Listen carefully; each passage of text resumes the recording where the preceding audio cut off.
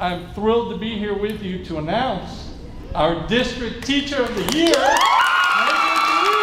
A surprise announcement as Megan DeWeese is named this year's Beaufort County School District Teacher of the Year. The Okatie Elementary School educator thought she was attending a faculty meeting and was shocked when she found out she's the district's 2020-2021 Teacher of the Year. I was just so shocked. I was really humbled. We have amazing teachers in this district. They are everyone in the top five. All of our teachers are amazing. And I just feel so blessed and so humbled to be chosen as to represent our teachers. The first grade teacher says this is an amazing honor. It means so much personally because hard work does pay off every day. It doesn't even really feel like work. I am just so thankful to be able to come and be with these kids.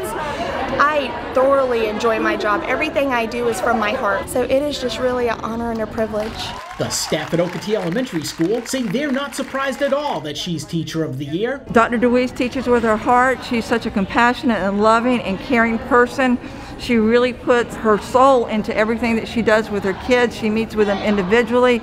She collaborates well with the parents, and she's always striving to do things better. So she's just an awesome, well-rounded, loving person. I have never seen her with a frown on her face. Always a smile, never a mean thing to say about anyone. Always a positive comment for everyone about everything. She's a team player. She just, she loves what she does. The district's Teacher of the Year is usually announced during a breakfast, recognizing every school's Teacher of the Year. However, due to COVID 19, this year's announcement was made as a surprise. At Okatie Elementary School, Ron Lopes, Beaufort County School District. I learn from all of you. And all of you influence me in one way or the other, and I am just so thankful.